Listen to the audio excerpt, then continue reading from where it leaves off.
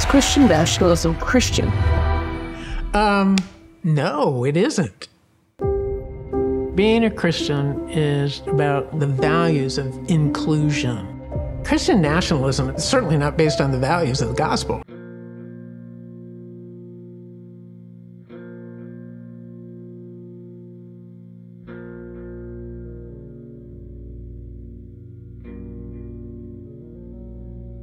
Good evening.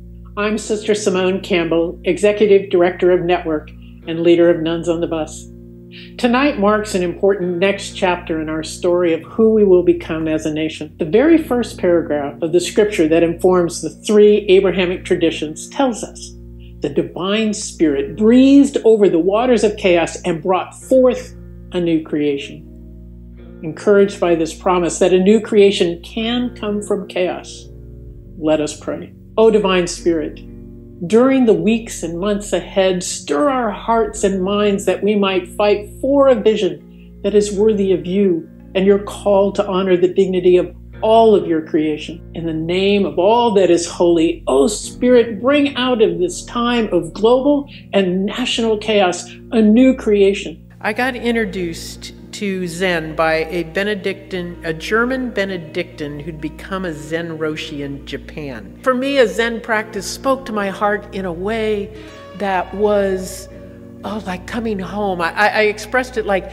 you know, jumping off the diving board into this cool water of refreshment. It was glorious. This became the ground of my spirituality, a ground of sinking roots deep into God's presence alive in the world and coming to treasure that we indeed are one body. So, my experience was this of meeting, of having in my imagination the sense of a sage saying, inviting me to go deeper. And that uh, being willing to do that was the biggest gift of my life ever and being willing to know that, how can I say this? Well, to know that we're one body. All of creation is one body.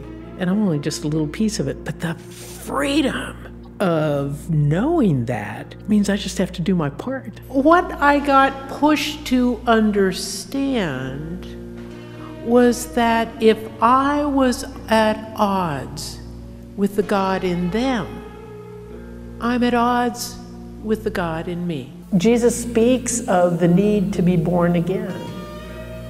And I have a hunch that the new birth we need to look for is this chance for politics to move away from moneyed interest towards the people's interest.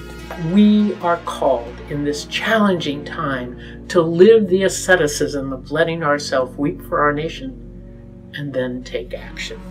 So that it will be, as Paul says in the sec- in the second reading, that it is an acceptable time when we hear the Lord's call to the day of salvation. Behold, now is a very acceptable time.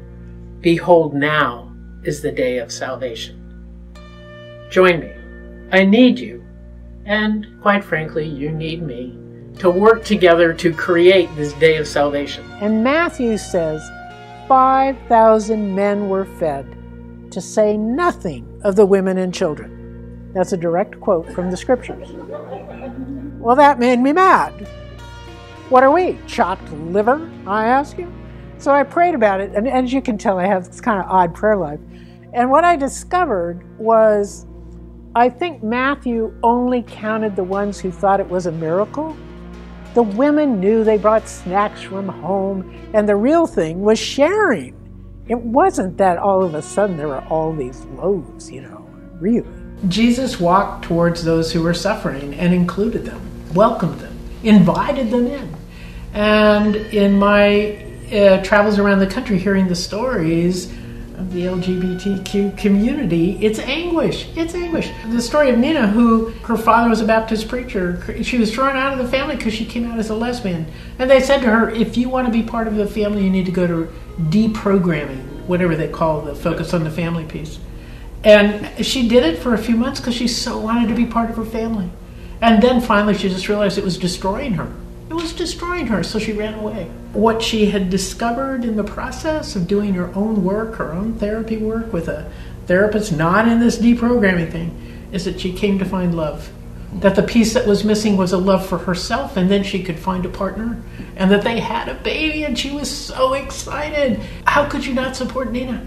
I ask you, how could you not? Jesus is always about love and supporting love. For me, it's not about the rules. And often this kind of reaction is about the rules. You have to play by the rules. These are the rules. And for me, it's much more about the lived reality of the gospel in the street, which has way fewer structures. And it's much more about trying to live in relationship to the now. The rules were important at a point, but then when spirituality and meditation deepens, it takes a whole different view and it's a broader frame. And if somebody gets so caught up in hate and hurt, fear, ooh, how are they ever going to get free? And Jesus is about free. Fear not, fear not. Go, go off together. Preach the good news. Good news. Is that good news? Is the bus good news? Mm-hmm. A lot of joy. The measure is joy. Do you find joy? There's God.